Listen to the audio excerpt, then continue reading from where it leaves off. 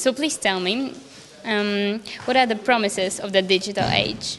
The promises of the digital age to have an easier life. You can now connect with everyone very easily. You can learn anything. You can change your career very easily because learning has been online without any fees, without anything. You can simply choose whatever you want to learn, and then it's you have it.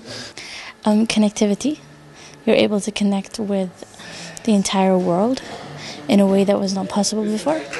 Well, it seems to me that for the first time in human history, we have achieved a, a level of communication where we can take an idea, a knowledge, and spread it everywhere. So it's standard communications into steroids. I think greater interconnectedness, um, more collapse of time and space, um, more instant communication across borders and across languages and cultures. If you ask me right now, I would say the promise of us being in a digital age is to connect each other, to provide informations every time, everywhere, and whenever people need it.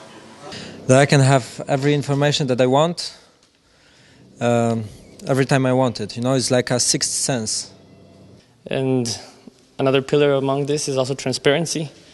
For the first time in human history, we have received a channel which is fully transparent, through that anyone and any time can see what's going on, and we have to use this and leverage for our advantage for the people and not just for selfish needs and wants, but for everybody. I think now the digital age makes it possible for the whole world, you know, to work on uh, um, global issues. Right now, um, everybody's talking about how can we produce food to feed the 9 billion people that will be on the planet by 2050. You know, my company, Farmerline, is working on that. You know, we are trying to contribute to that conversation. I think nowadays, or with this digital revolution, we have the ability to do great work to connect people, to connect ideas, and to make just a smarter planet through these technologies. So I don't know. It's uh, in the same time it's all about connection, but in the same time it's all about improvements for what is happening and what has been created years ago. And for me, it's enabled me to to see what I want to to say to the government and for the people, and work on my project with my friends all over the world. It's all about communication. Um, I travel a lot, so before I started using, you know, um, social media and whatnot, I would travel more like a tourist than rather than you know an explorer. But since I've started using digital media and social media for a while, I connect with friends on Facebook. We do a lot of activities together. It's it's a deeper connection, and you find more stories.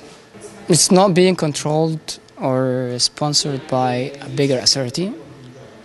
So it's a way that you fight an authority that wants to control what you see, what you read, what you share, and even what you eat. I think that the most important uh, change right now is that all the uh, people around the world can get the same knowledge. Can they can learn from the same sources. Uh, from the internet, although they live in a very distant uh, countries, and that helps us develop the changes and um, make all the differences between the countries all around the all around the world uh, much smaller.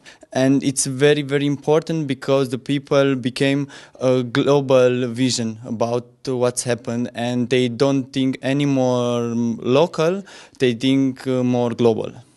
Digital age uh, is the age which uh, belongs to the future of uh, the country of Zimbabwe, and the future is in the hands of the younger generation who have uh, very much comfort and flexibility in using uh, technology, uh, using the internet to communicate, and uh, they will definitely utilize that to, to make a difference, to bring in sanity, uh, direct and, and well documented information to help people make uh, conscious decisions on, on, on, their future.